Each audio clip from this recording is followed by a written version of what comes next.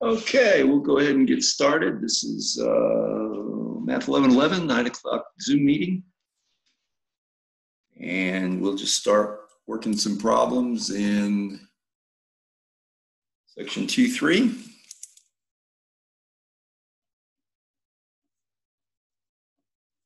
And I guess we'll start with problem 9. They give you a graph, and the idea is to see if you can read the information off the graph. And so, take just a second so I can try to sketch these things.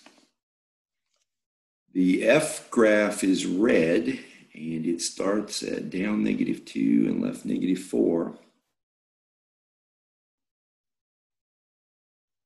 Goes through negative 3 and negative 1. Crosses at negative 2 and up 1.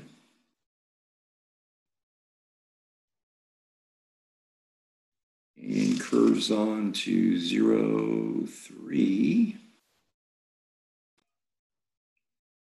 And curves down to 2 and 2. And then finishes over 4 and down 1.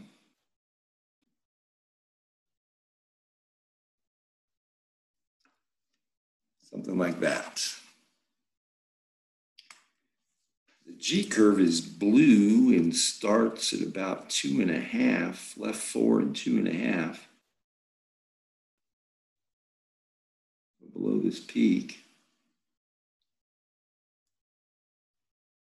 Goes through negative three and up two.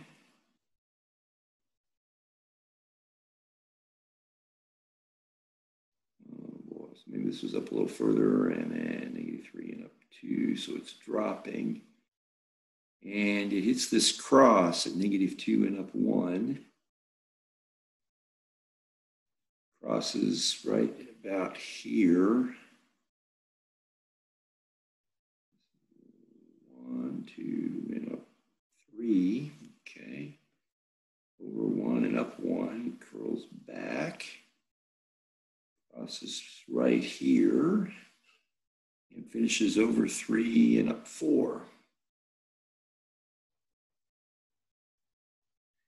That's the G curve, and the other curve is the F curve. On the in the book, it's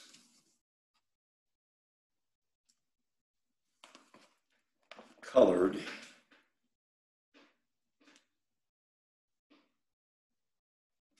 Uh, let's see, this one.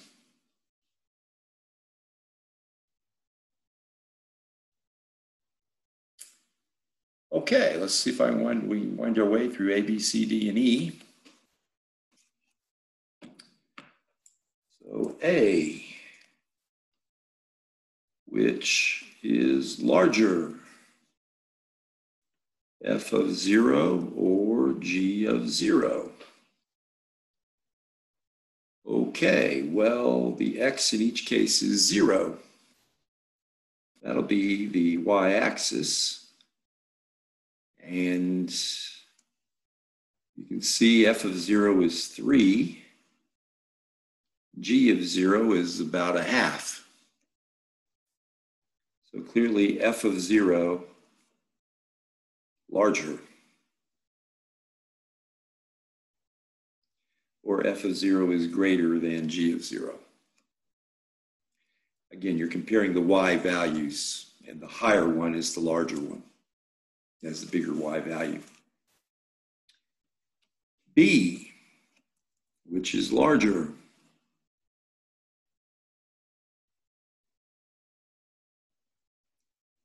f of negative 3 or g of negative 3. Well, if you read each of these off the graph at negative 3, your G is clearly larger. It's above F. Looks like G is 2, and your F is at uh, negative 1. G of negative 3 is larger.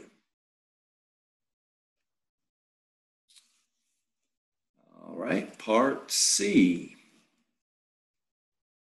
For which values x is f of x equal to q equal g of x. Where are they equal? They are equal where they cross or intersect.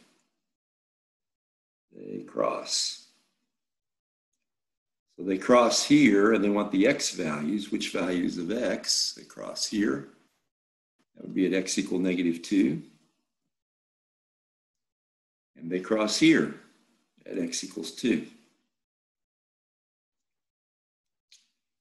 Those are the values where f of x equals the g of x. They're both 2. I mean, they're both equal. Uh, at this, they're both 1, and here they're both 2. The x values where that happens are at x equals negative 2 and 2. All right, part D. Values of x where f of x is less than or equal to g of x.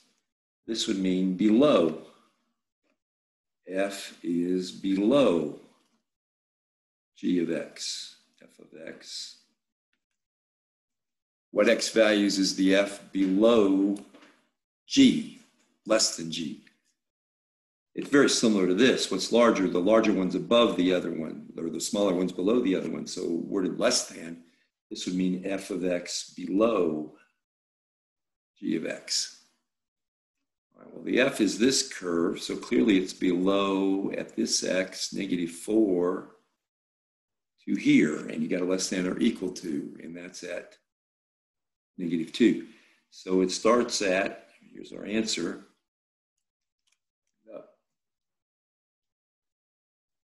starting at negative 4 comma negative 2, and you'd have brackets because you are equal to.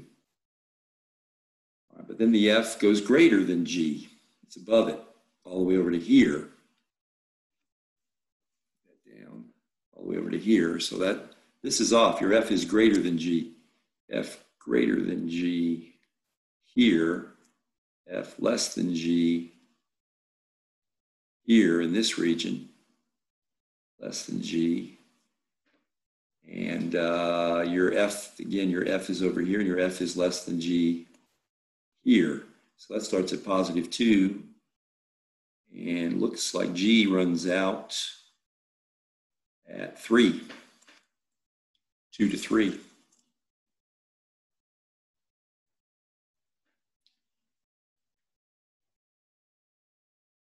And I'm going to have one more part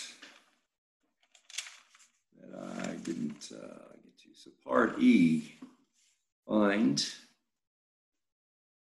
values of x where f of x greater than g of x. So the f is above g. This will use parentheses. No or equal to. Well, the F is above G. I guess we pointed that out. Your F is greater than G in this middle region, starting at negative 2 to positive 2. But nor equal to, so we don't include negative 2 or 2. Answer negative 2 comma 2, but with parentheses. There's no or equal to, because right at the 2's, you're equal and there's no or equal to here. So that's what this said, uh, f of x equal to g of x, where they cross at negative 2 and 2. The f is greater than g between negative 2 and 2. But again, with no or equal to, it's parentheses. You really got to, this very technical, you really got to watch these things. All right, let's see. Why don't we try one like problem 15? problem 15. So the f of x minus 1, negative 3 less than or equal to x less than or equal to 3. Again, when they give you this condition, they're telling you x min and x max. So, if we graph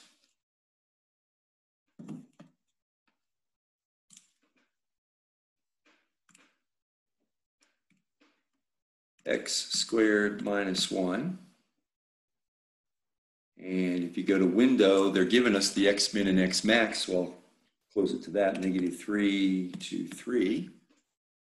Didn't tell us the y, so we'll leave that alone. Graph. Looks like we are getting an upward opening parabola. Crosses the y-axis down at negative 1. That's part A, the graph.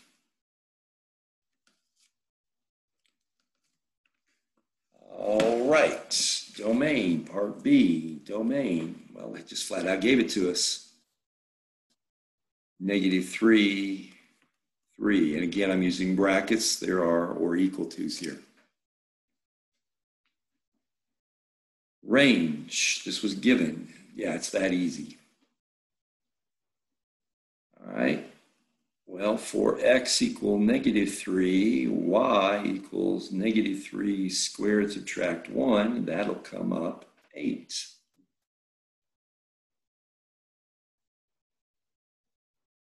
Remember plugging negative numbers into squares or positive even powers. You should come up positive with that piece. I don't know how to get rid of uh, notifications of Facebook. Oh, it went away. Great. Oh, we have a participant. Welcome. Can you hear me?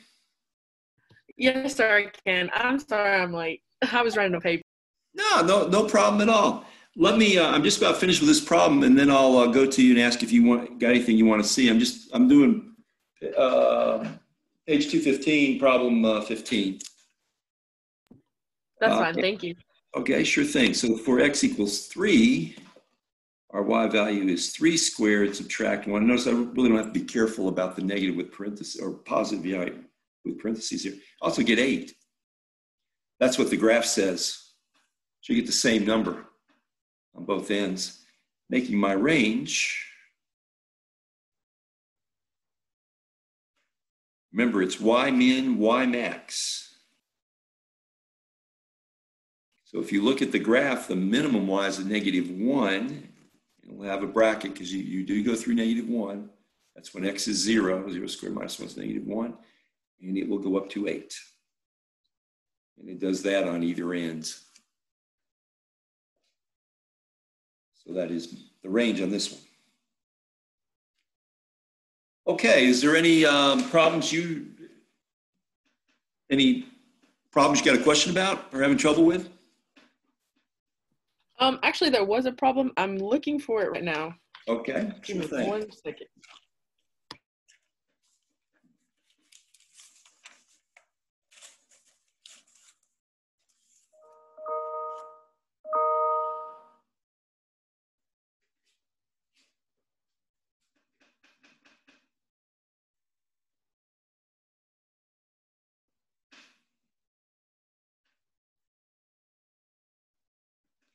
Is it out of the book or on WebAssign?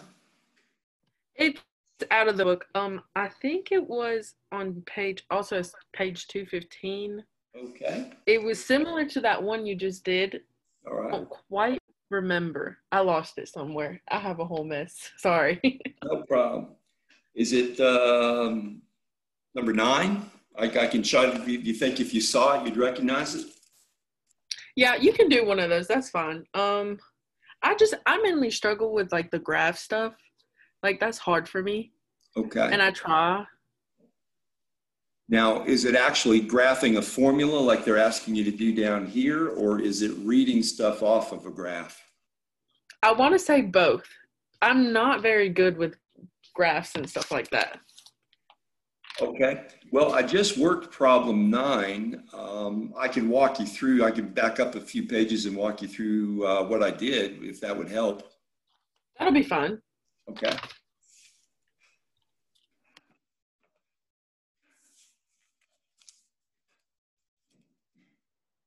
Oh, we've got a second participant. Very good. I, I don't, yeah, I don't know, I don't have, um, can't see your names on the screen, so. She, uh, she wants number nine, and I just worked it. So I was gonna walk her through what I did, and then if you've got any questions about any problems, we'll be happy to work one for you. Okay, thank you. This is Allison Bauer. Ah, Miss Bauer, very good. Thank you. Okay, yes, uh, I didn't write the page number down. We're on page two fifteen, section two, three. Okay, the book has this color coded, which probably makes it easier. I don't have my colored pens, but if you look at it, the two graphs, tried to, as accurately as I could, copy them. But the F, as you can see, is kind of this, uh, red, is, I'm sorry, I'm showing number 10. Number nine, here we are. Okay, number nine, the F is the red curve here, and then this G is this kind of open up blue curve. So I did my best, so I don't mark all over my book, to um, copy it here. So the first question they ask is which is larger, the F of zero or the G of zero? So these are, they're asking about the Y values. And basically the large, the larger one's going to be above the other one. So if you look at X is zero, they're giving you the X value right here in between the parentheses. That's your X. So both cases, X is zero. You go to the F curve. They didn't even ask for the numbers. They just asked which is larger. And you see how the F curve is above the G curve, which makes it larger. That's really all they asked. I did go ahead and fill in the numbers. At X is zero, your F is three, and your G doesn't really say, but we probably take it to be a half. It's halfway up to the first box, making the F of zero larger than the G of zero. Does that help?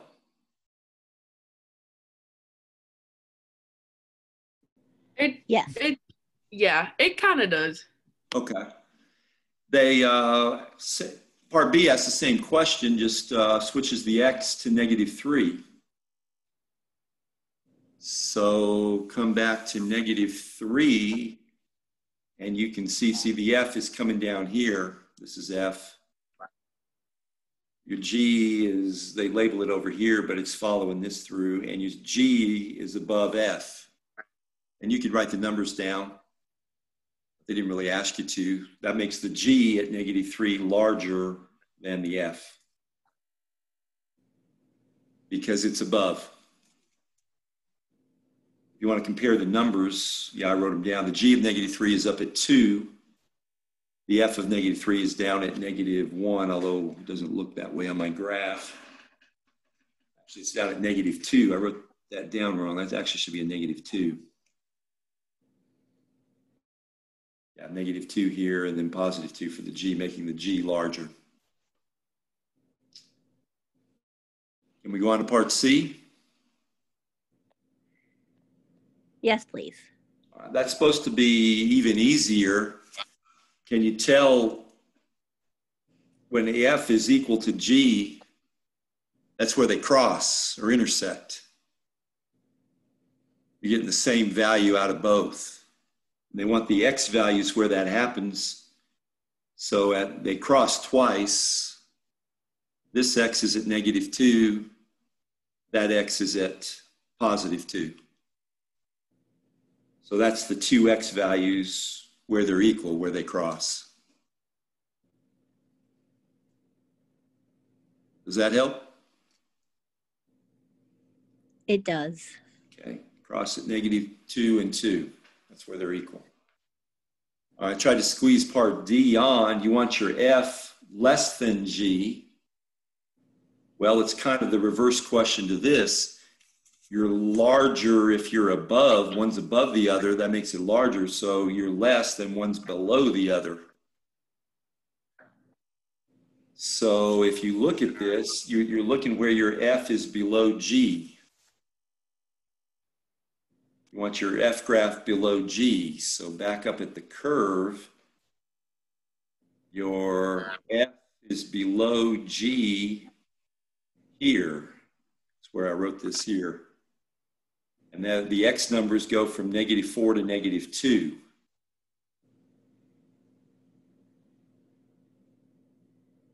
So that's where I wrote this first interval between negative four and negative two. Notice the or equal to, that's why I'm using brackets.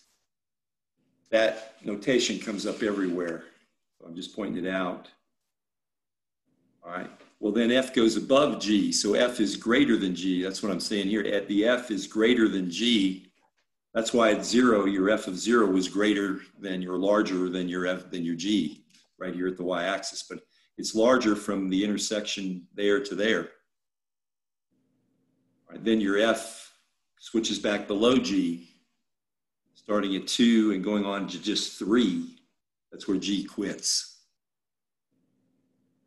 So your second interval is between two and three, again with brackets because it's an equal to.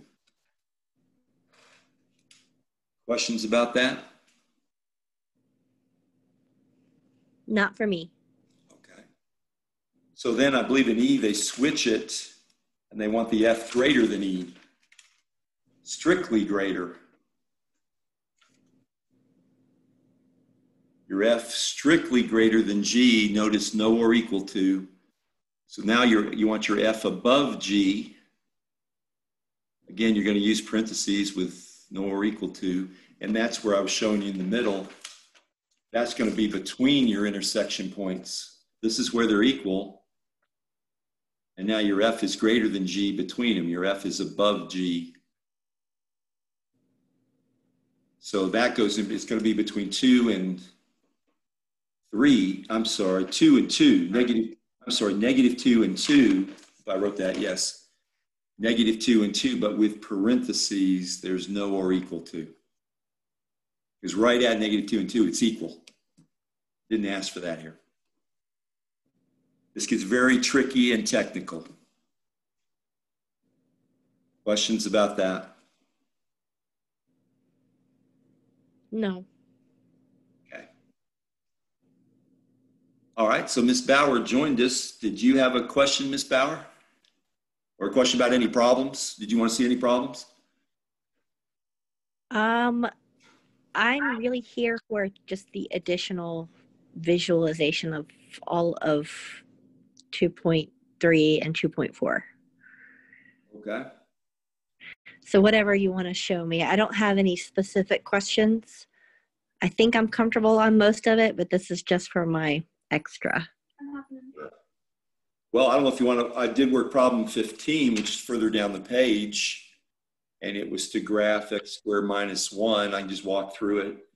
It'll help. And they gave you this condition on it. So that means they're giving you the x min and x max, which is your domain. And Okay. Or equal twos, that signals brackets. They could have left off an or equal to, and I'd have stuck a parentheses if they had. So Okay. they any of the four cases. They could put or equal twos in both. They could leave or equal to off here or off here, or they could leave it off in both cases. And that would switch whether you use brackets or parentheses. You would punch it in straight on the calculator. Your calculator can't really distinguish between the or equal to or not. So you'd still punch negative three and three, whether they have an or equal to or not for the graph. On your X min and X max, you would still, yeah, I still got it. Whether they use an or equal to or not, I'm still going to punch negative three or three. Okay. So when you have a window, I say, well, that's the window. So then the graph is an open up kind of parabola, crossing the y-axis at negative one. All right, now to get the range, that's where things get tricky. The domain is super simple. They just flat out gave it to you. You've got to plug each of the two x values at each end into the formula and figure out the y numbers and they come out the same. If I plug negative 3 in x squared minus 1, I get negative 3 squared. Hope you remember about plugging negative numbers into even powers. You should come out with a positive 9. When you do that, subtract 1, you get 8. And you get the same thing with 3 squared. That's 9, subtract 1 is 8. Now you got to look at the graph. See the 8's on both ends. That's the biggest number. This one curls around, starts at 8 there, and curls around to 8. The minimum y you go through is down here at negative 1. So your actual range is going to go from negative 1 to 8. And again, with brackets, because you've got these or equal to's on the x's.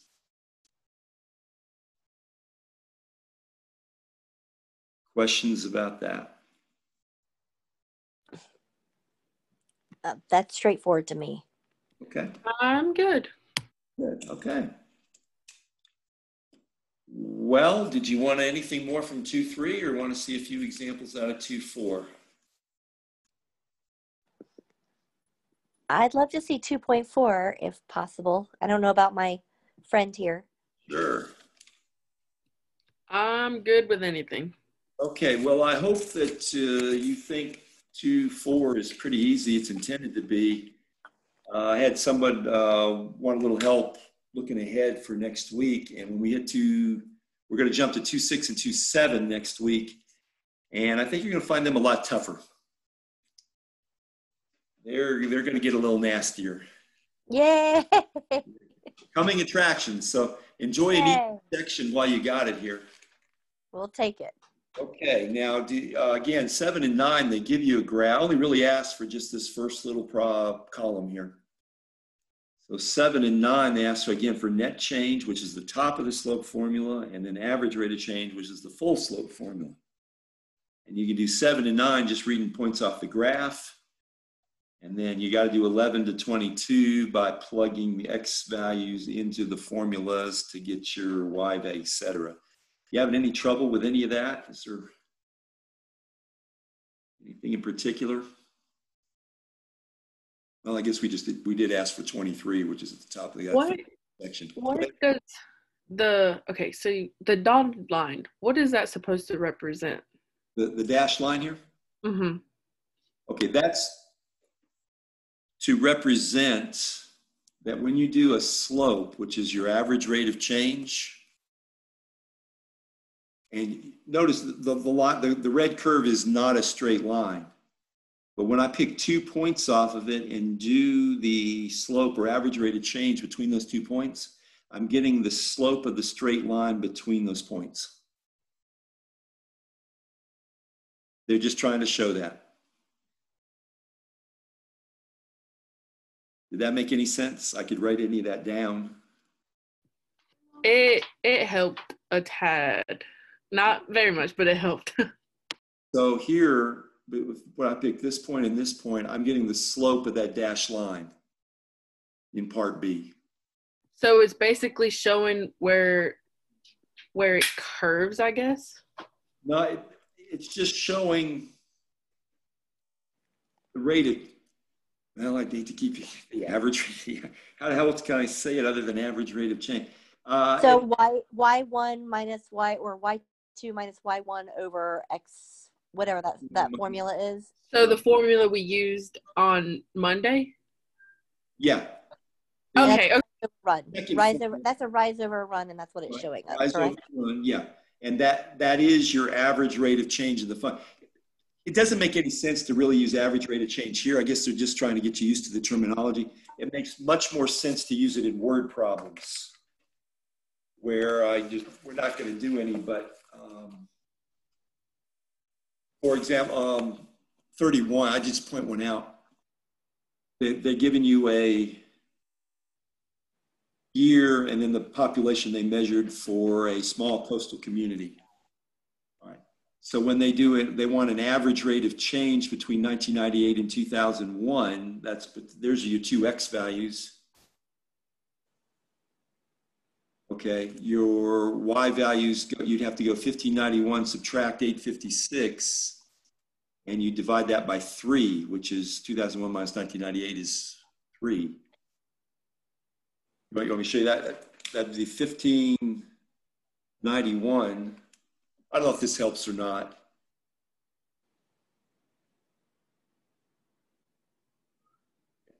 It would be fifteen ninety-one, maybe I should write it down, minus, what was nineteen ninety, eight fifty-six? And you're dividing that by three years. 245. So in other words, the population increased by 245 people per year. That was the average rate of change. That was the, between 1998 and 2001. Okay, that makes so much more sense now. Okay. Yeah, back on the other graph, so they just generic numbers off a simple graph. Yeah, it doesn't make a whole lot of sense. But yeah, this, this is one where maybe it makes more sense. You, you can see what I did. Between 2001 and 1998, that's my X2 and my X1, in 2001. My X2, my X1, and then my Y2 and Y1. When I subtract Y2 minus Y1, I get 730. That'd be my net change. Changed by 735. And then when you divide by the difference of the years, you get your average change, 245 people per year. But I, I- I'm discovering online, I don't want to say this too much because we're being recorded. I've really had to shorten up what we teach because these online Zoom videos get so much shorter since you're recording them and you got to upload them and everything. So I, I don't want to say it too loudly that we're doing a little less material than in a normal class. But uh, yeah, in a normal class, I would have done all these word problems. You, you can see how much longer things would be if I did. Right. Okay. So don't thank me all at once. It, it overwhelms me. I was I was thinking that's really awesome. Okay. No, no, pl- please, you're, I didn't say it out loud, but we, we can yes. we can throw confetti though. right. Okay, so yeah, I, I stopped the section here just because it's supposed to get the point across. Even if it doesn't make a whole lot of sense, exactly the average rate of change. Did anybody have any trouble plugging numbers into any of these formulas here? That's really what it is. It's, it's an exercise in plugging, these are X numbers, even if they call them T's or Z's. And you get the Y values by plugging them into the formulas. Do you have any trouble plugging numbers into formulas? No. Not really. I'm Never. pretty good at that. Pretty good. Okay. Well, we're at 30 minutes. Does anybody want to see any others then? Can you just give us maybe a challenging one in 2.4? Just something that you think that we need to know for the test from 2.4? Just maybe one of the more challenging questions. Well, the really questions are this net change and average change. Um, you want me to do an even, uh, would an even one be challenging enough, like 18? Yes, you know, that would be great. Well, do you want me to walk through it or do y'all want to try it? Um, maybe we could try it first and then see what happens. All right, well, sure thing. I'll pull my pad off. This is page 224, section 2.4. But I unfortunately I don't have it in front of me. I don't have a, a textbook. Oh, okay, well, I'll write the problem down. It's uh, Thank you. 18, sure enough. Yeah, it's g of t, t to the fourth, subtract t to the third, and add t squared.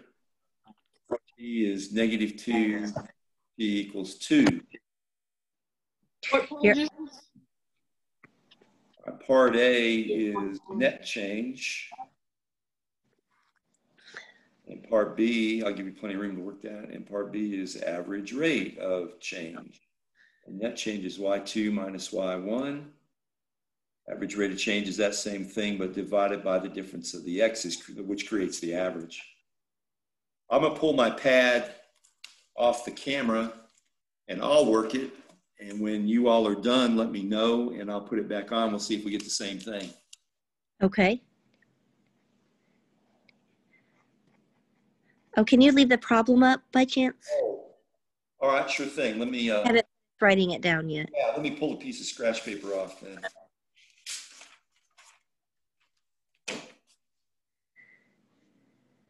There you go. Thank you.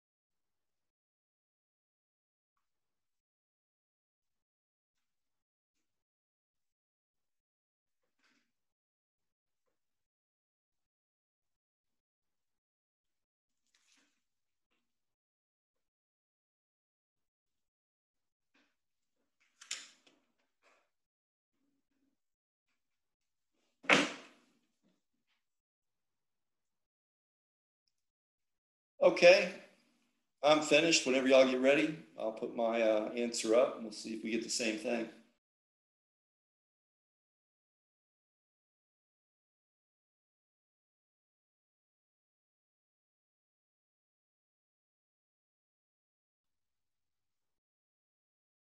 This really is a good exercise in seeing if you know how to plug the negative numbers. That's really the trick. Do you know how to plug the negative numbers into all these powers and come out with the right thing? Most people don't have too much trouble with the positive number. But if you can do the negative number, come out with the correct thing, you're uh, well on your way to uh, doing well.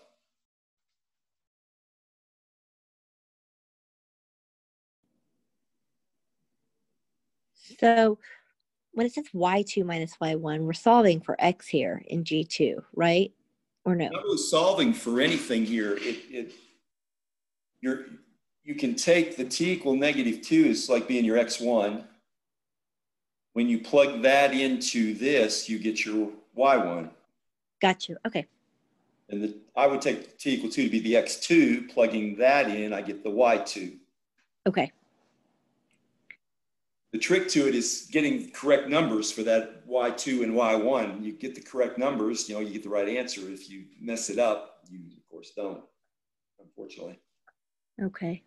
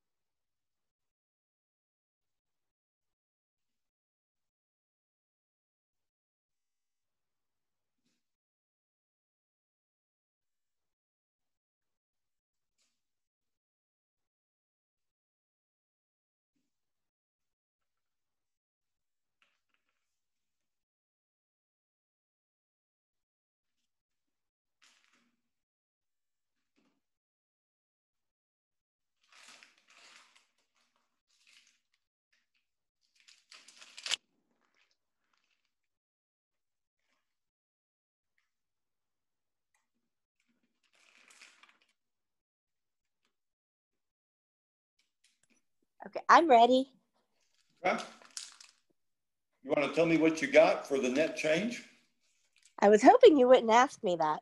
Oh, okay. Or I can put mine Well, up. I got I got 16. Okay. That's good. It, is that correct? Well, I take either 16 or negative 16. I did it as negative 16. Okay. But why would you take it as Oh, I see. Okay, yes. Well, yeah, there's, there's no real correct X2 or X1. So if you did it reverse from me, that would have reversed this and given you a positive 16. I take either answer is fine. Okay, great. Now, the average rate of change should have a correct sign. No matter how you did this, you should have got negative four. Yes. That's what I got too. But you got 16 on top, your bottom should have come out a negative four. Yes, it did. But so is the average rate of change then um, 16 over negative 4 and then that would make it um, just negative 4 or do you have to leave it as a fraction? No, it, it, since it can be reduced, it needs to be reduced. Okay. If it'd been like 16 over five, you'd have left it. Okay. Okay. Sounds like y'all, um, did our other student present have any questions about this? Yes, I'm good. Good. Okay. Did you, uh, want to see anything else then? No, this was helpful for me. Okay. I think I'm good. I think you answered my questions earlier. All right. Well, very All right, good. well, We'll keep the same Zoom schedule next week and, uh, yeah, work on the next two sections. okay, So- well, thank you so much, Mr. C. All right. Absolutely. Have a good evening. Same to Have a good night. Thank you. Uh-huh. Thank you. Bye bye. Thank you. Bye.